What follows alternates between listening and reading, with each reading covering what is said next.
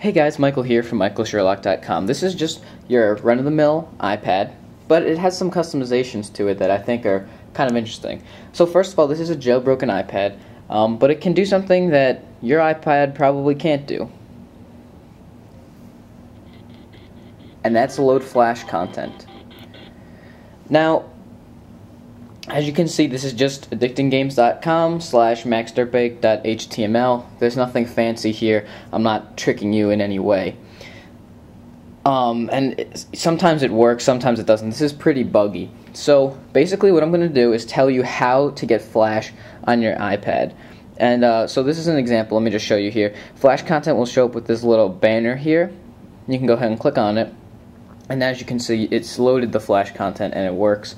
But again, sometimes it crashes. Sometimes you can restart it. There you go. Um, so how do you do this? First of all, you're going to need a file. And this, again, like I said, has to be a jailbroken iPad. But you're going to need a file called frash.deb. That's F-R-A-S-H dot D-E-B. You can just Google that and find it. And then what you're going to need to do is SSH into your iPad. So if you're on Windows or Mac OS 10, you can install OpenSSH and use your favorite FTP client to go ahead and go into it.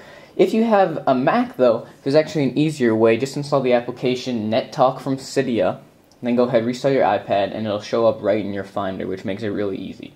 So what you need to do then is go ahead and log in. Again, the default uh, login is root, and the password is alpine, A-L-P-I-N-E.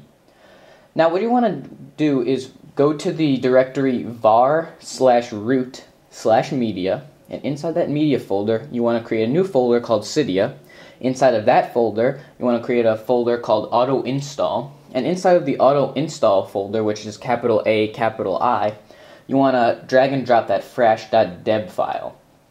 Now then, all you have to do is restart your iPad, and Flash will be working just as you'd expect. So, again, we can try reloading the pages to show you Max Dirt Bike.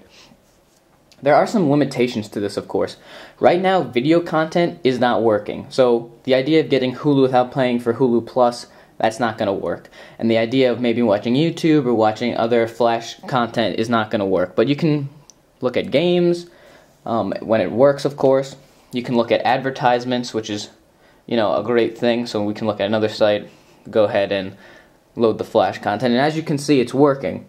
Um, so again, this is a very early release of this Frash software.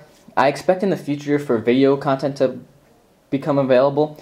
And also with the games, for when Max Dirt Bike does load, for instance, you're not actually able to play because it requires an external keyboard with uh, the number or the up and down arrows, for instance. So I expect in the future support to come for that so you can actually interact with it. But again, you just see the Flash content and you click on it and it loads. Obviously, this does take a little bit of a hit for battery life, but from what I've seen, the advertisements work just fine. So it, it, it, kind of crashes or debunks rather, you know, Steve Jobs' remarks that we don't want Flash because it's really a hog and it's not going to work well on our hardware because this seems to work fine and the website doesn't seem to be any less responsive because we've loaded those Flash advertisements.